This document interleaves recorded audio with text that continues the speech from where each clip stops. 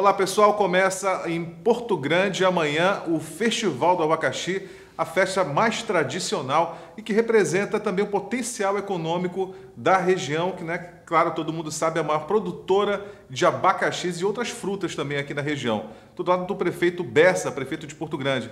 Então, prefeito, festa, está tudo pronto lá para a festa. O pessoal já pode se organizar aqui em Macapá e em outros municípios para ir para lá. Com certeza, a cidade já, a estrutura do, do balneário que é o palco do Festival do Abacaxi, já está pronto, né? É, com todos os agricultores, os microempreendedores, já todos treinados e capacitados para receber o público.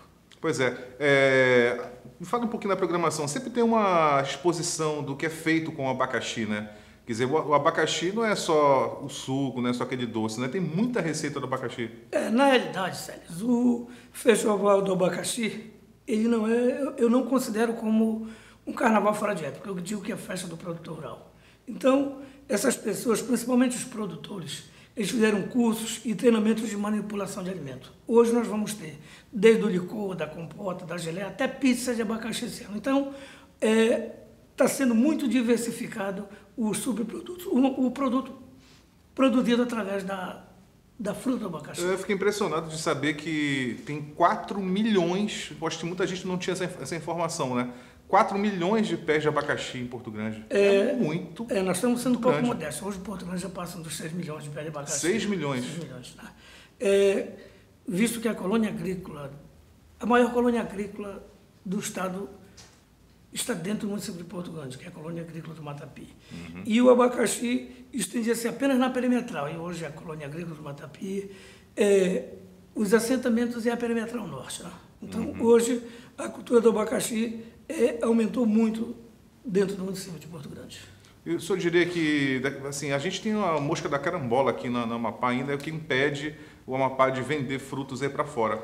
Quando acabar essa restrição, que parece que ela está perto de acabar, parece que o, o inseto está perto de ser erradicado, de ser extinto, né? Essa praga de sumir daqui. Mas eu só diria que a gente tem condições, Grande tem condições, tem produção suficiente até para comercializar para fora abacaxi? Com certeza. Eu acho que hoje o comércio do abacaxi o abacaxi in natura, né? In natura, ele se restringe muito ainda ao estado da Amapá, a produção de Porto Grande, né?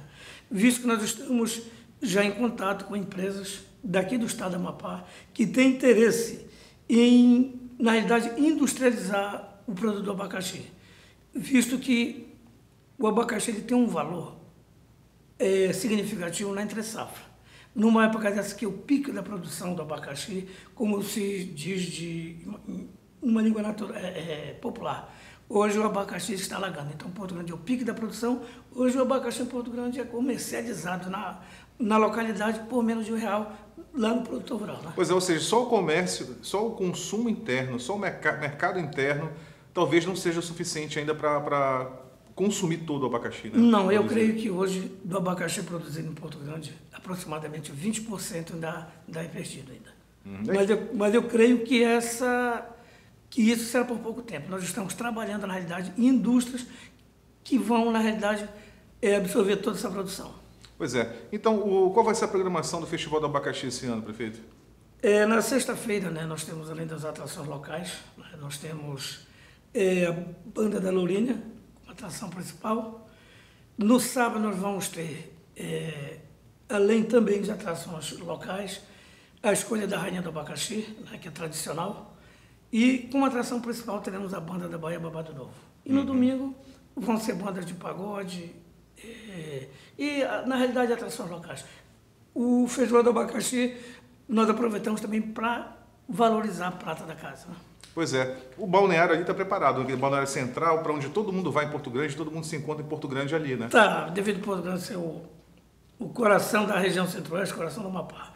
Hoje o balneário de Porto Grande está, na realidade, revitalizado, está pronto para receber os turistas que vão, na realidade, visitar a nossa, a nossa cidade. A festa tem parceiros importantes esse, esse Lógico, ano, né? tem, tem. Nós temos como parceiros, nós temos o governo do Estado, que é nosso parceiro principal, nós temos o SEBRAE, é, a própria Associação dos Produtores da Perimetral Norte, a Você Telecom, que está sendo parceiro nosso desde, desde o primeiro evento que nós fizemos, que foi aniversário da cidade. Então, um evento desse não se faz, nós temos que ter parceiros. E, lógico, muito timidamente ainda, o empresariado local. mas eu creio que também com esses eventos, com tudo que está acontecendo, com certeza vão criar confiança e eu creio que nós, nos próximos eventos nós teremos uma participação mais ativa. O senhor falou no, no aniversário de, de, Porto Grande, completou quantos anos? É, foi, foi em março ou abril, foi, né? Foram 25 anos. 25 anos. 25 anos. 25, é um município muito novo, tem muito para crescer ainda, né, prefeito?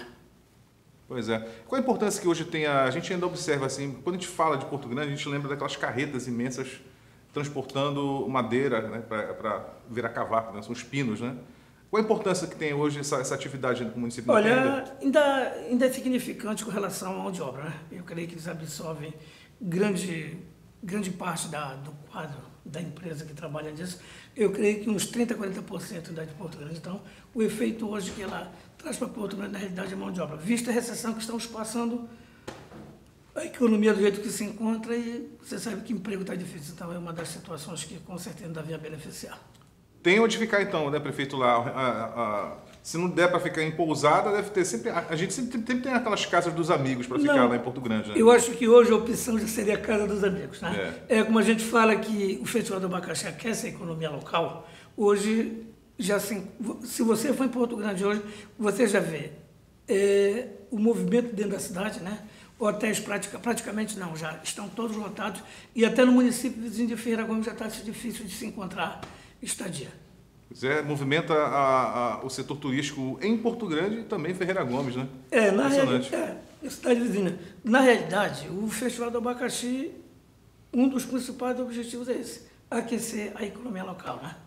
Ok, prefeito, obrigado. Bom Festival do Abacaxi, então, para o senhor e para os moradores de Porto Grande. Tudo bem, então. Obrigado Você pelas tá informações.